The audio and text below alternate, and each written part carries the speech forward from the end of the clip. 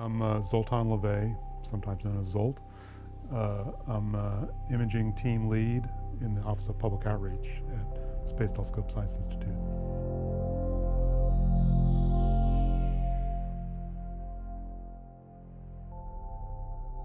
The, the time it takes to process an image varies quite a bit depending on the image and the type of observation that, the, that it was.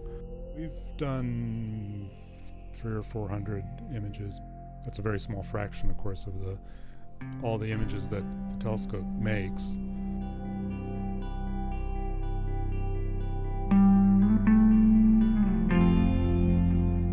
In the Hubble database of science, there are hundreds of thousands of images. This is an image of a group of galaxies called Stephan's Quintet. So there are a number of galaxies that are interacting with each other uh, under their own mutual gravity. So uh, this is the final product that we have. Uh, the cameras on the Hubble Space Telescope are not color cameras.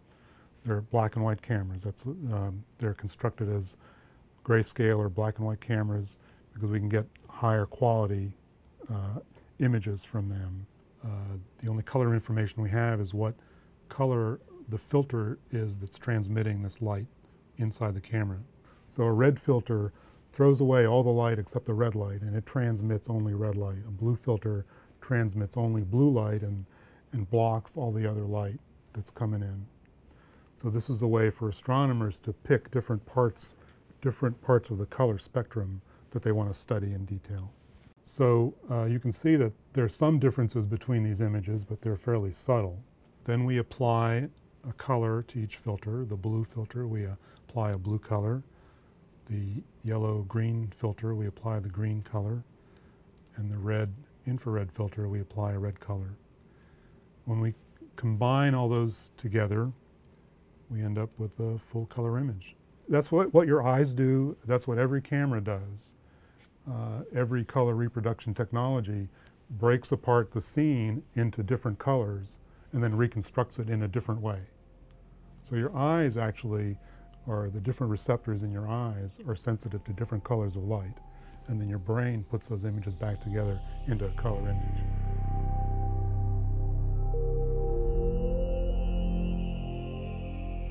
The colors in the image uh, represent some of the physical processes that are going on in this, in this object. Uh, this is a conglomeration of uh, several different galaxies. Uh, the, the blue that we see is coming predominantly from very hot, very bright, very young stars that shine predominantly in blue light.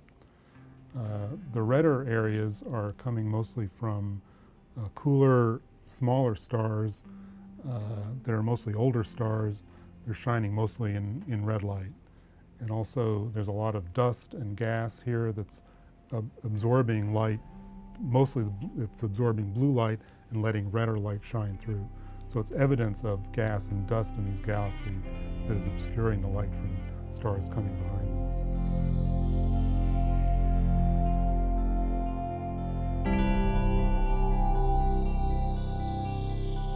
This is one of my favorite images. It's uh, called the Carina Nebula. It's a large area of gas and dust and stars in the constellation Carina. That's why it's called the Carina Nebula. A very large piece of the sky that has a lot of uh, gas and dust. It's very active. There's a lot of stars being, new stars being formed. What the telescope sees is a very small piece of the sky. Uh, some of these objects uh, cover more area than the telescope can see in one exposure, so we will build a little mosaic. So some of the images can be very complex between multiple exposures in each filter, multiple filters, and multiple pointings uh, positions to build up a larger area of the sky. So there are 32 separate exposures uh, in adjacent areas of the sky that we were able to stitch together to this to make this one image.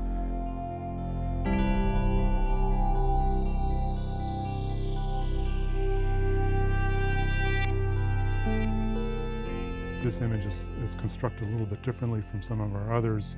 The color that we have was constructed from another image taken by a telescope on the ground in Chile, the Cerro Tololo Inter-American Observatory. So a telescope on the ground took the images of the same region of the sky in three different colored filters. So they were looking at the light of hydrogen, also the light of sulfur, and the light of oxygen, which all these things shine at different, in different wavelengths in different colors. The Hubble data is only black and white, but we use that as, as, the, um, as the brightness information.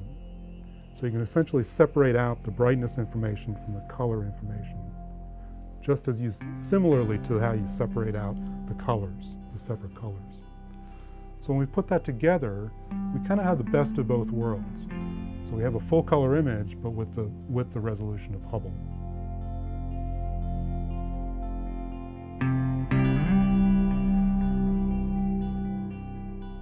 One really interesting area of this image is this uh, region of these pillars. Uh, there is light uh, and uh, material from the brighter stars in the region. They're pushing out a lot of material and very strong radiation, and that's actually what's causing these columns to have this shape. So there's, there's a there's stellar wind that's pushing against this material and actually pushing away some of the material and leaving these denser columns behind. And at the tips of these pillars, we see uh, jets of material shooting out from the very tip. And that's a telltale signature of a brand new star that just, just formed and turned on in these areas. And at some stage in their life, they shoot out this material uh, in both directions, and we see the evidence of that uh, here in these jets that are coming out from these pillars.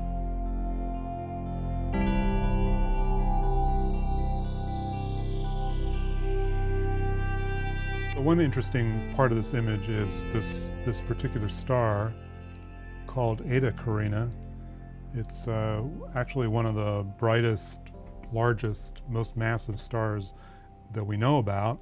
Astronomers think that this is a good candidate for a supernova uh, explosion, for this uh, star to explode as a supernova sometime. We, don't, we just don't know when. this uh, is really affecting the entire region of space here.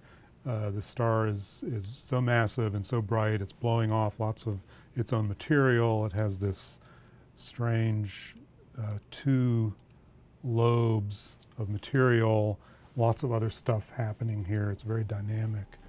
And all this material out here is all stuff that the star has been spewing out over the you know, thousands of years that it's been active.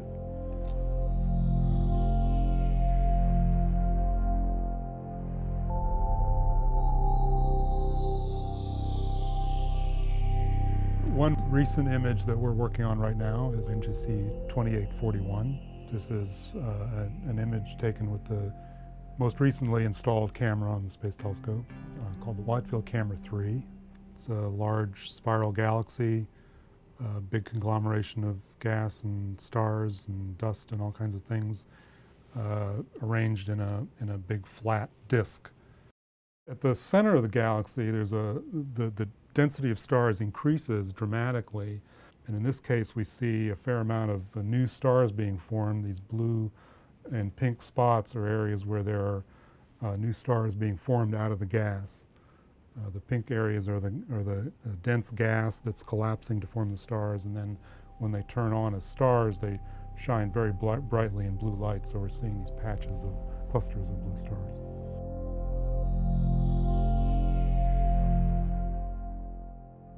I've constructed um, at least a couple of hundred Hubble images.